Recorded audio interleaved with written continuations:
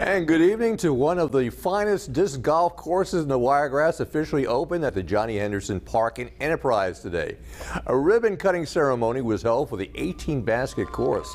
The sport is based on the game of golf, but instead of hitting a little white ball, Players, as you see there, throw a disc which is comparable to a frisbee.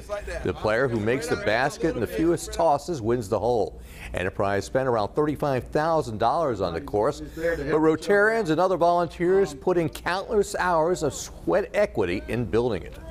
Offer this to our citizens today, and probably next week we're going to have a tournament. So that put heads in beds, and as well as bring uh, the economic part to our city. And disc golf enthusiasts say it's a great family activity. You can play it with others or by yourself. By the way, it does not cost any